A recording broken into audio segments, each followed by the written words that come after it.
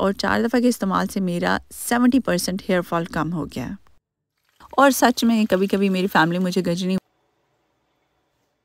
वालेकुम beautiful people कैसे आप सब लोग? आई होप सब लोग ठीक होंगे, इंशाल्लाह, खूब मज़े में होंगे, छुट्टियाँ इंजॉय कर रहे होंगे। और हाँ आजकल मानसून भी चल रहा है ना तो उसकी वजह से भी मौसम अच्छा हो जाता है। और भाई, आमों की नेमत को हम कैसे भूल सकते हैं? मतलब जब आम आ जाता है ना सीज़न में तो हर तरफ़ वो पीला रंग और खुशबुएँ फैल जाती हैं।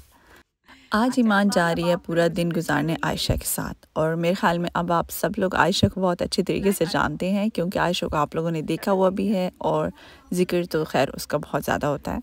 सो so, आयशा और उसके बाबा ईमान को पिक करने आ रहे हैं तो फिर बस ईमान आज पूरे दिन के लिए मुझे बाय बाय करके जा रही थी और मैं इससे पूछ रही थी कि आप मुझे मिस करोगी? कहती है बिल्कुल भी नहीं।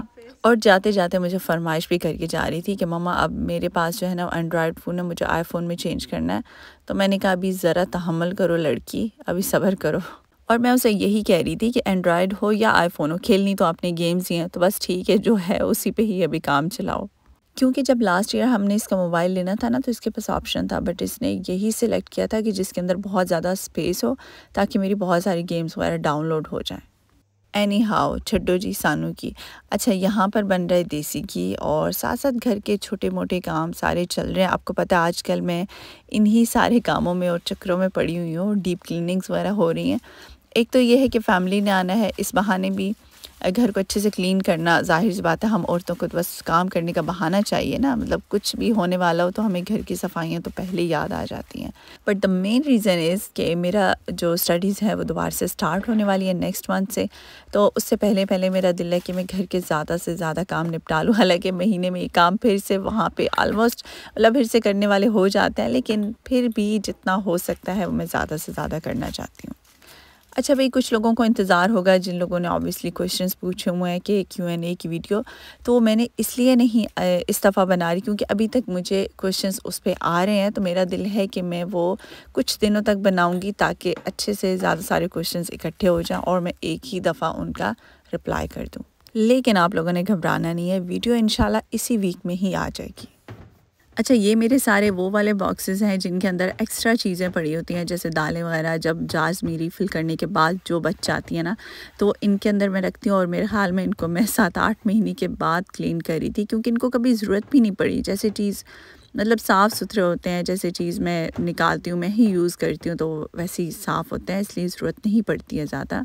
लेकिन वैसे मैं सोच रही थी कि क्लीनिंग से वाइब्स बहुत अच्छी आती हैं। जो क्लीनिंग का पार्ट होता है ना, वो बहुत ज़्यादा इंपॉर्टेंट है। ऐसे ही नहीं, इस्लाम में कहा गया कि सफ़ाई निसफ ईमान है। और ये तो हम सब लोगों ने कई दफ़ा ही महसूस किया है कि जब हम लोग ख़ुद अपनी सफ़ाई का ख्याल रखते हैं, घर को साफ़ रखते हैं, अच्छे कपड़े पहनते हैं तो कितनी एक पॉजिटिव सी एनर्जी मिलती है कि आप कोई भी टास्क करने को तैयार हो जाते हैं। And I am damn sure कि मतलब फ्राइडे को बहुत सारे लोगों को इसी तरह की ही वाइब्स आती होंगी, क्योंकि हम सब लोग काफ़ी अहतमाम करते हैं ना जुम्मे वाले दिन। अच्छा इस पोर्शन को मैं काफ़ी टाइम के बाद क्लीन कर रही हूँ, लेकिन ये नहीं है कि ये आपको बहुत ज़्यादा ख़राब है। असल में जो मेरा स्पाइसेस वाला पोर्शन है ना, वो बहुत ज़्यादा ख़राब हो जाता है। पता नहीं क्यों, मैं बहुत ज़्यादा केयर भी करती हूँ बट फिर भी हल्दी या मिर्चें कहीं ना कहीं से गिर ही जाती हैं। अच्छा इन जार्स को भी ना मैं क्लीनर से, बाहर से क्लीन करती हूँ इसकी आउटर लेयर को, क्योंकि मुझे लगता है मुसलसल हाथ लगने की वजह से ना जर्म्स वगैरह लग जाते हैं और पैदा हो जाते हैं तो इसलिए इसको अच्छे से क्लीन करना चाहिए। आज मैंने इन सारे इस कैबिनेट का बहुत तफसीली मुआयना किया है और जायज़ा लिया है। तो जार्स को रीफ़िल कर दिया और अगर कोई चीज़ ख़त्म हो गई है तो साथ ही मैंने नोट पैड भी रखा होता, उस पर नोट डाउन कर लेती हूँ। क्योंकि भाई मैं अपनी याददाश्त पे ना रिलाई नहीं कर सकती और अब आपको समझ आ ही गया होगा कि क्यों। मुझे कभी कभी ऐसा भी फ़ील होता है कि कोई गजनी जैसी सिफ़ात मुझमें पैदा हो रही हैं कि मैं थोड़ी देर के बाद चीज़ें भूल जाती हूँ। और सच में कभी कभी मेरी फैमिली मुझे गजनी बुलाती भी है, क्योंकि मैं थोड़ी देर के बाद ना चीज़ वाकई में भूल जाती हूँ। इवन जब मेरे हस्बैंड के साथ भी मेरी कभी जो डिस्कशन होती है, थोड़ी बहुत नोक झोंक हो जाती है, और मुझे फिर बाद में मैं नाराज़ होती हूँ बट मुझे रीज़न भूल जाता है कि मैं नाराज़ हूँ क्यों? अच्छा ओवरऑल याद होता है, लेकिन वो जो एक इचिंग पॉइंट होता है ना, वो भूल जाता है। और फिर मेरे हस्बैंड मुझे अक्सर यही कहते हैं कि अब नाराज़गी की वजह बनती नहीं है, क्योंकि आप तो रीज़न ही भूल गई हो। लेकिन एक बात है, पढ़ाई के मामले में ये जो मैं स्टडीज़ करती हूँ, ये जो काम की चीज़ें होती हैं, वो मुझे बिल्कुल नहीं भूलती हैं। मतलब मैं ये नहीं कह सकती कि मेरी मेमोरी ख़राब है, बस मैं इन चीज़ों पर ज़्यादा ध्यान नहीं देती। एक कान से सुनती हूँ और दूसरे कान से निकाल देती हूँ। मतलब मैं अपने दोनों कानों का भरपूर इस्तेमाल करती हूँ। अच्छा अभी तो सब वो लोग आ जाएँ जिनको हेयर फॉल का इशू है। तो वो लोग अपने कानों की खिड़कियाँ और दरवाजे खोल के बात सुनेंगे ताकि उनको अच्छे से समझ आए। अच्छा इंग्रेडिएंट्स टोटल यही है। मस्टर्ड ऑयल है, मेथी दाना और एक प्याज ले लिया दरमियाने साइज़ का।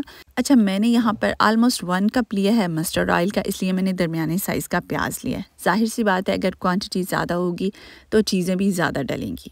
तेल के गर्म होने तक आप इस तेल के ज़रा कारनामे सुन लें।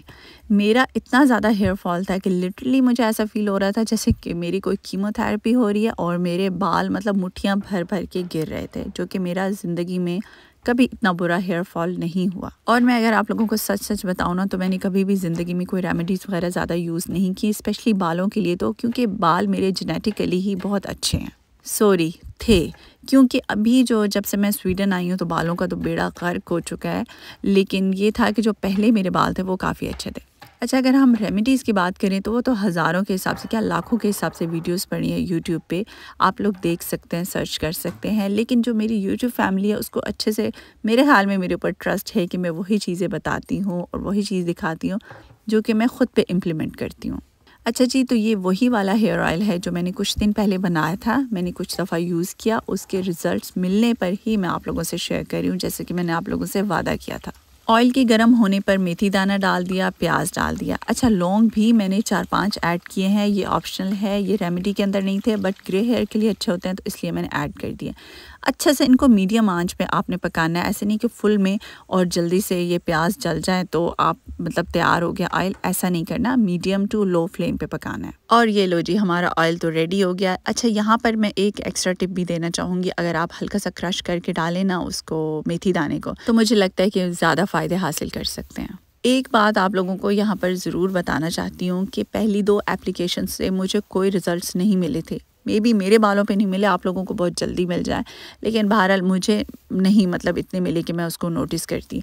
थर्ड और फोर्थ पे मुझे मतलब सही वाज तौर पे महसूस हुआ कि वाकई में हेयर फॉल में काफ़ी हद तक कमी आई है। और मैंने अभी तक टोटल ये ऑयल जो है वो चार दफ़ा इस्तेमाल किया है और चार दफ़ा के इस्तेमाल से मेरा सेवेंटी परसेंट हेयर फॉल कम हो गया। तीन दफ़ा मैंने ऑयल वैसे ही सिंपल जैसे मसाज करते हैं, अपने बालों पे ऐसे किया था और फोर्थ टाइम मैं अभी आपको दिखाती हूँ कि मैंने कैसे यूज़ किया था। अच्छा ये जो दो हफ़्ते थे ना, समझो मैंने आपको बता रही हूँ कि मैंने चार दफ़ा इस ऑयल की एप्लीकेशन किया, लेकिन इस सारे ड्यूरेशन में मैंने दो दफ़ा दही का इस्तेमाल भी अपने बालों पर किया। है।